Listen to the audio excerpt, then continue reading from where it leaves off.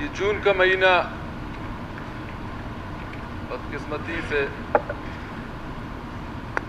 हम लोगों ने, हमारे तमाम मेंबरों ने बलूचिस्तान असम्बली के सामने जो धरना दिए थे, हम इसी हवाले से धरना दिए थे कि जनाब चेयरमैन साहब जो बलूचिस्तान में धमाके हो रहे हैं बलूचिस्तान में अगवा बर तावान हो रहे हैं बलूचिस्तान में जो जून का महीना है पीएसडीपी आ रहा है हम इस वजह से धरना दे के बैठे कि कि गवर्नमेंट वज़ीर अला बलूचिस्तान आके देख लें कि सारे मेंबर अपोजिशन के बैठे हैं वजह क्या है बैठने का और उसके बाद 18 जून को जनाब चेयरमैन साहब, जो हालत हो गए असम्बली में तकदस ऐवान की जितने मजम्मत किया जाए कम है, हमारे मेम्बरान को, बाबू रहीम, हमारे बहन शकीला नवी देवार वाय सिद्दीकी जो इस्लामाबाद में, हॉस्पिटल में, ये हालत थे 18 जून का। उसके बावजूद इस गवर्नमेंट ने, इस वज़ीर अला ने, जाम साहब ने, जो एफ़ आई आर बलोचिस्तान के तमाम अपोजिशन मेंबरों के खिलाफ एफ़ आई आर दर्ज की, हम खुद जाके बेइज्जत ताने में बैठ गए। गवर्नमेंट ने कहा, ये गुंडे हैं चेयरमैन साहब, हम गुंडे नहीं हैं। हम बलोचिस्तान के हकीकी वारिस हैं। हम बलोचिस्तान के अवाम ने हमें नुमाइंदा करके भेजा है, जनाब चेयरमैन साहब। हम हकीकी नुमाइंदे हैं, अवाम ने वोट दे के हमें असम्बली में भेजा है। हम उस लोगों के आवाज़ असम्बली फोरम तक, जहाँ तक जाता है, हमें जाना चाहिए। जनाब चेयरमैन साहब, बजट सेशन में हमारे फाइनेंस मिनिस्टर जहूर साहब चले गए। जब बात करने का मौका आता है, वो चले जाते हैं। तो सुनने के लिए तैयार नहीं जनाब चेयरमैन साहब। उसने बजट सेशन में उसने ऐसे बातें की कि ये मेम्बरान आठ, दस करोड़ छः करोड़ के लिए बड़े बड़े बातें कर रहे हैं। हम आठ, दस करोड़ के लिए हमें, हम थाने में नहीं बैठे हैं। जनाब चेयरमैन साहब ज़रूर साहब आ जाते, अभी मैं उसको बता देता।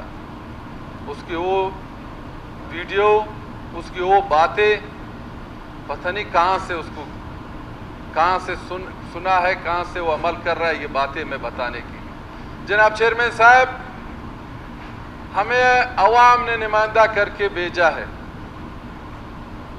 हम सिलेक्टेड नहीं है, जनाब चेयरमैन साहब सिलेक्टेड हो है। सिलेक्टेड हो है कि उस लोगों को सिलेक्ट करके असेंबली में भेजा है। हम तेईस एम पी ए जनाब चेयरमैन साहब, हम तेईस एम पी ए आवाम ने खलूस दिल से आके हमें वोट दे के इस असेंबली में भेजा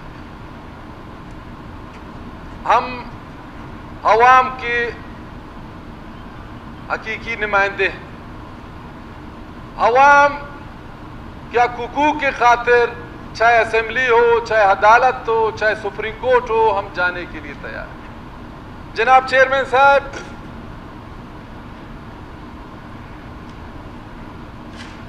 तीन सालों में पीएसडीपी को मेरा डिस्ट्रिक्ट वाशुक को नजरअंदाज किया।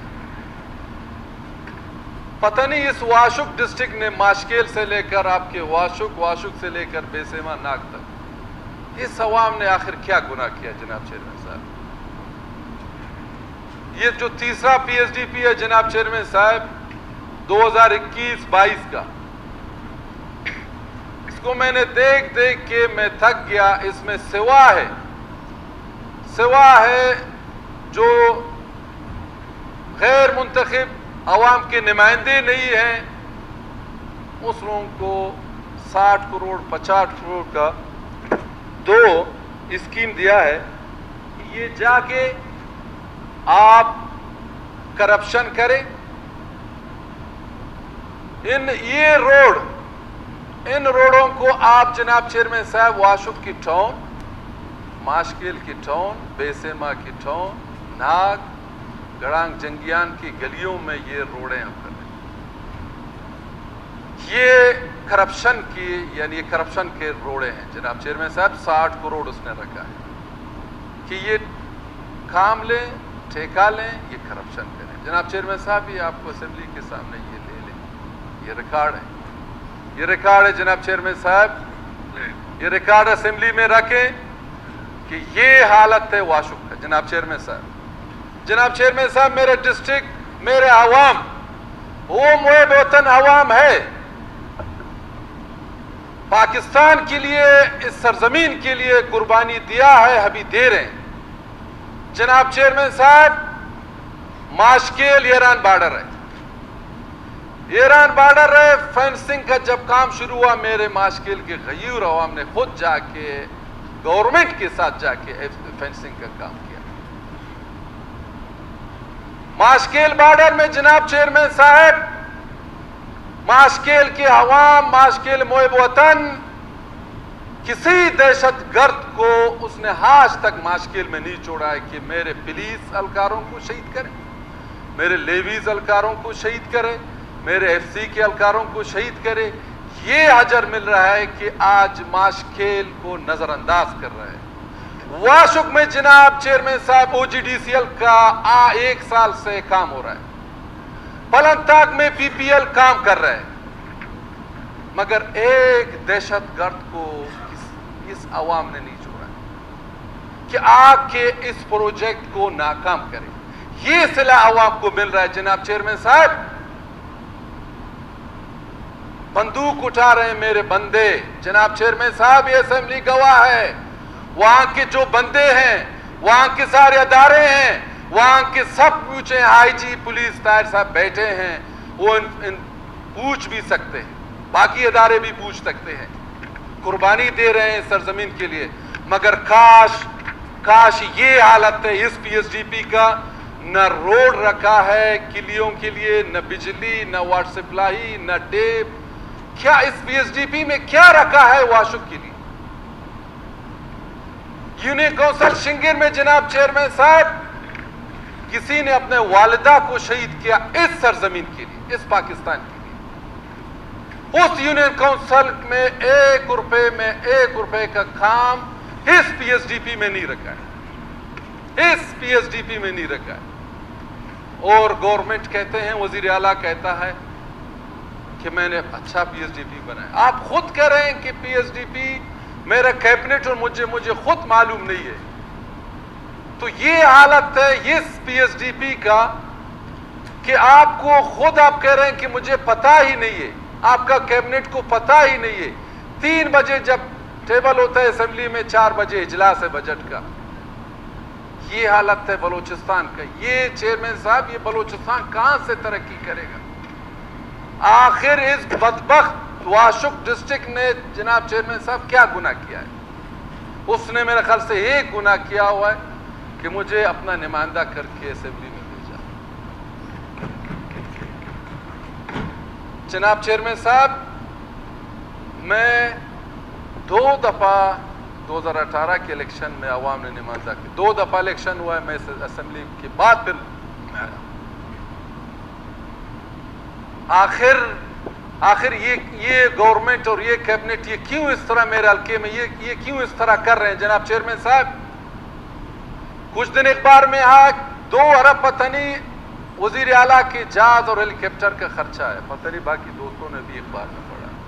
एक अरब अठहत्तर करोड़ कितने आप वाशुक को आपने क्या दिया है? आप क्या दे रहे हैं? आखिर ये जुल्म आप क्यों इस तरह कर रहे हैं? आखिर आपको खौफ है, अल्लाह नहीं है? आपको एक दिन अल्लाह के सामने क्या जवाब देना पड़ेगा? जनाब चेयरमैन साहब, नमाज़ तो पढ़ते हैं। पाँच वक्त का नमाज़ भी पढ़ते हैं ताजुद का नमाज़ भी करते हैं, ज़िक्र भी करते हैं, कुरान के तलावत भी करते हैं। भले बंदों का हकूक अल्लाह आपसे पूछेगा। बंदों का हकूक आपसे अल्लाह पूछेगा कि मैंने आपको वज़ीर अला बलोचिस्तान बनाया है बलूचिस्तान। ये जो वज़ीर वगैरह बैठे हैं यहाँ पे, कैबिनेट के जितने वज़ीर बैठे हैं इस लोगों से भी पूछेगा कि आप लोग क्यों इस तरह, इस हलकों में क्यों जुल्म कर रहे हैं? आखिर ये हल्के ये कहाँ हैं? ये सलकों ने क्या गुनाह किया हुआ है? जनाब चेयरमैन साहब, इस सलकों ने क्या बदमाशी किया है? इस हल्कों ने क्या असला उठाया हुआ है इस सरजमीन के खिलाफ? आप उसको ये सलाह दे रहे हैं।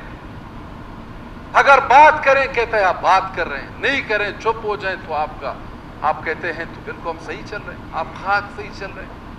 बलूचिस्तान को आप दलदल में फंसा है।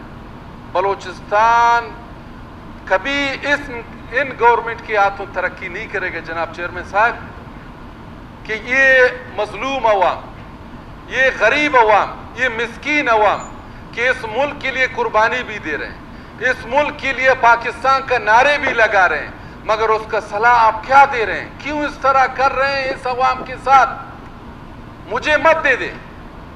मुझे एक रुपए की ज़रूरत नहीं है, जनाब चेयरमैन साहब।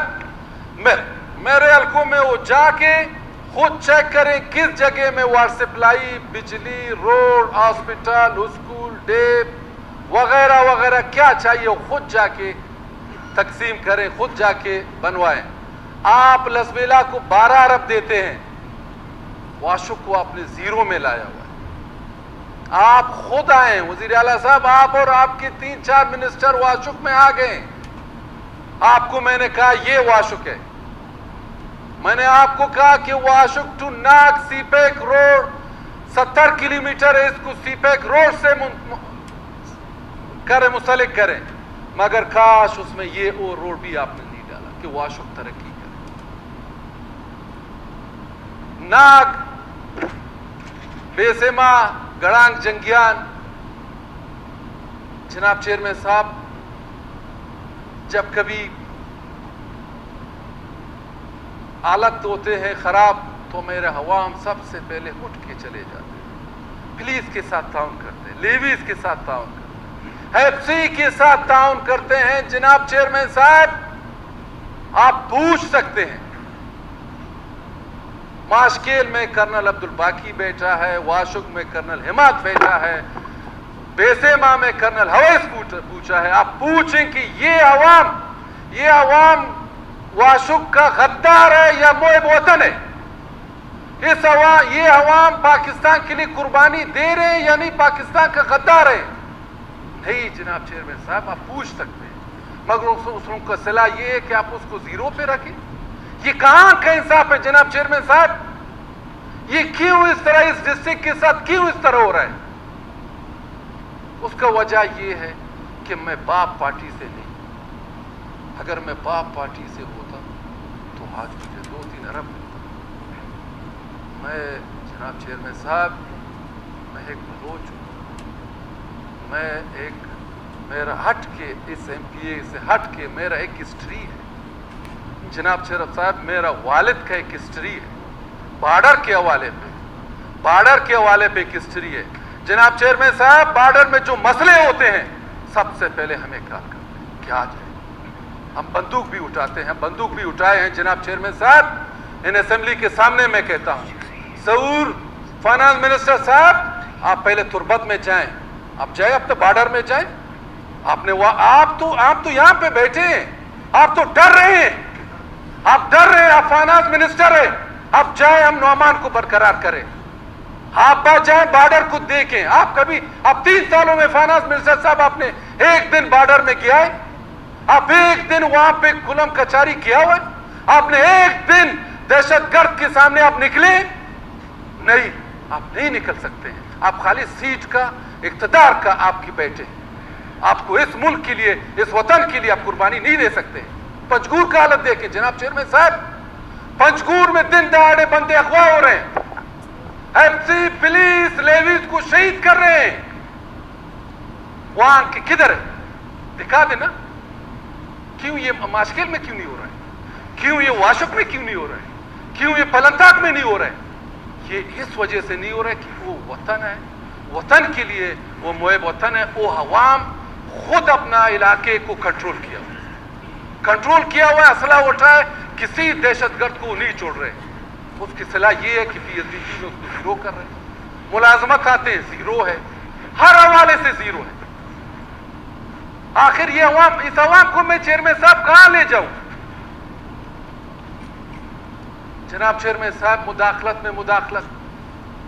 जनाब चेयरमैन साहब 2013 में अर्थक्विक हुआ है। जिलजिले का 2013 में। 10 करोड़ रुपए सर जनाब चेयरमैन साहब, अर्थक्विक 10 करोड़ रुपए इस साल मैंने दो दफ़ा रिलीज़ किया।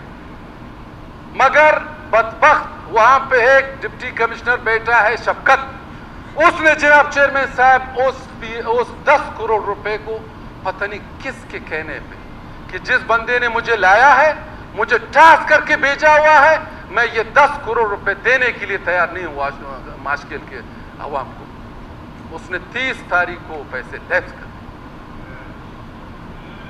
ये पैसे जनाब चेयरमैन साहब, मैंने अपने जात के लिए नहीं लिया था।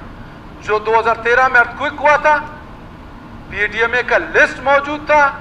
बाकायदा पीडीएमए ने पैसे रिलीज़ किया था। बाकायदा पीडीएमए के एक टीम माशकिल गया जनाब चेयरमैन साहब। सर्वे के लिए कि बाकी ये मुस्तक हैं, इस बंदों को पैसा देना है। मगर पैसा इस बदबक टीसी शफकत ने पैसा लैप्स दो दफ़ा, तीन दफ़ा चीफ सेक्रेटरी के पास गया, अभी चीफ सेक्रेटरी यहाँ से उठ के चला गया। मैंने कहा, चीफ सेक्रेटरी साहब, मैं करप्शन के लिए मैं पैसा अपने जेब में नहीं डालता मुझे ये पैसा नहीं चाहिए। जिस पीडीएमए ने लिस्ट बनाया ये पैसा जाके माशकेल के उसी बंदों को, चाहे फ़ी बंदे को लाख रुपए मिलता है, चाहे पचास हज़ार मिलता है, ये उसी लोगों का हक है। मगर तीस तारीख को पैसे ले इस वजह से कि वहाँ के जनाब चेयरमैन साहब, माशकेल में बाप पार्टी ने उसको नहीं छोड़ा कि ये पैसे वहाँ पे जाएगा, गरीब बंदों को मिलेगा, क्योंकि वहाँ पे जाबिद रेगी का ओल्ड बैंक वहाँ पे ज़्यादा है। आपने भी उठ लिया है वहाँ से। अगर मैंने चार हज़ार माशकिल से वोट लिया आपने भी पंद्रह सौ वोट लिया आप पहले भी सब मिनिस्टर रहे, मगर आप बदकस्मती से आप वहाँ पे आपने पैसे नहीं। लालजान साहब बैठे हैं। लालजान साहब बैठे हैं, जनाब चेयरमैन साहब भी मेरा आग लग गया। लालजान साहब बैठे हैं, निगरान टीम पे सीएम के साथ लालजान साहब खुद आके माशकिल का विज़िट किया। वो खुद आके निगरान वज़ीर आला था, उसने आके माशकिल का विज़िट किया कि वाकई माशकिल अर्थक्विक में बिल्कुल खत्म हो गए बीस बंदे बहुत हो गए, कितने जख्मी हो गए। आखिर इस अवाम ने, आखिर इस अवाम को इस अवाम ने चेयरमैन साहब क्या गुना किया है? आखिर ये अवाम का कसूर क्या है, जनाब चेयरमैन साहब? कौन सा सर चेयरमैन साहब यहाँ से लेकर इस्लामाबाद तक? इस डिस्ट्रिक्ट के लिए मैंने वो आवाज़ें उठाई है। अपने जात के लिए चेयरमैन साहब खुदा दरा है। मैंने अपने जात के लिए नहीं किया, मैंने इस अवाम के लिए जो दरवाज़ा मैंने देखा है, मैंने टकटकाया। खुदा के लिए इस वाशु के ऊपर रख। खटखटा जनाब चेयरमैन साहब, ये हालत है। कहते हैं, बात कर रहे बात करता हूँ तो आप बर्दाश्त करें। आखिर क्यों इस तरह हो जाए जनाब चेयरमैन साहब? 200 अरब लैब्स किए तीन सालों में। जनाब चेयरमैन साहब 200 अरब लैब्स किए। ये 200 अरब आप गवर्नमेंट नालाय के 200 अरब आप दे दें।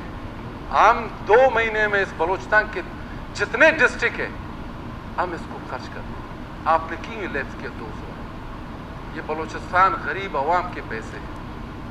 किस वजह से आपने लैब्स किया? आप ये 200 अरब कुछ नहीं कर सकते, कम अज कम कोयटा से कराची तक किसको रोड कर ये हालत है जनाब चेयरमैन साहब। आखिर हमारे बाकी और दोस्त वगैरह चेयरमैन साहब बात करना चाहते हैं। मिनिस्टर साहब आ गए वो मिनिस्टर साहब वो मिनिस्टर साहब भी आ गए। वो भी इसमें देखें कि ये हालत है, बलूचिस्तान का ये हालत है। और कल जनाब चेयरमैन साहब, मलिक उबैदुल्ला कासी की जब हम मुस्लिम बाग से आ रहे थे उधर गए, अफसोस के साथ कहना पड़ता है, हमारे असगर खान बैठे हैं। असगर खान साहब, आपका दिल खराब नहीं हो? अगर मैं होता, मैं आज गवर्नमेंट को कहता, वज़ीर अला को कहता मुझे आपके साथ रहने की ज़रूरत नहीं। मेरे बंदे अब मेरे बंदे दिन दहाड़े अफवाह हो रहे हैं। मेरे बंदे दिन दाड़े अगवा हो रहे हैं। मैं आपके साथ क्यों बैठूं? इस बैठने से बेहतर है मैं जाके पोजीशन में बैठूं। और हमारे लाला ओस्मान साहब जो शहीद हुए आखिर में इस, इस बात का उंडप करता हूँ। जनाब चेयरमैन साहब लाला ओस्मान जो शहीद हुए हैं हमारे नसरुल्ला जहरे ने उसके पार्टी ने जो फैसला किया हुआ है, जिस बंदे के ऊपर जस्ट जस्टिस फायसीसा के ऊपर तो ठीक है, गवर्नमेंट को चाहिए, उसी के हाथ में दे दे। वो तहकीकात करेगा तो पता चलेगा कि कौन कसूरवार है, कौन नहीं है, कौन बेगुनाह है।